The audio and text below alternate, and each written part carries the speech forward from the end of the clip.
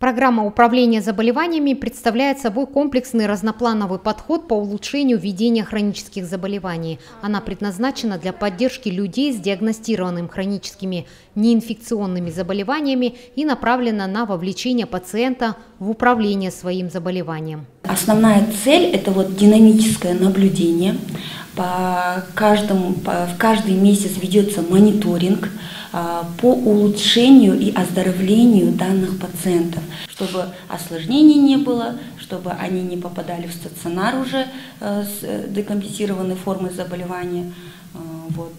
И через определенное время они снимаются с этой программы по улучшению состояния здоровья и вместо них вовлекаются другие пациенты также для того, чтобы их дальше оздоравливать. Данная программа, по словам спикера, организована по трем нозологиям. Это артериальная гипертензия, сахарный диабет второго типа и хроническая сердечная недостаточность.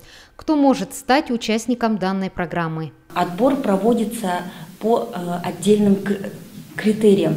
Э, допустим, артериальной гипертензии, кто состоит на диспансерном учете, не все могут участвовать. Участвует неосложненная форма у кого также сахарным диабетом второго типа, у кого субкомпенсация и компенсированная форма, и с хроническими сердечными недостаточностью э, лица с, со второй, четвертой категории по классификации. Отбор пациентов проводит участковый терапевт. В определенные дни с ними проводится обследование, данные вносятся в отдельную программу. Оценивает состояние пациентов мультидисциплинарная комиссия в составе узких специалистов, психолога, специалистов ЗОЖ и других. В третьей поликлинике города, по словам Фариды Канашевой, в программу управления заболеваниями вовлечены 64,5% из общего числа состоящих на диспансерном учете. На сегодняшний день, согласно приказу Управления здравоохранения Павлодарской области, э, мы должны э,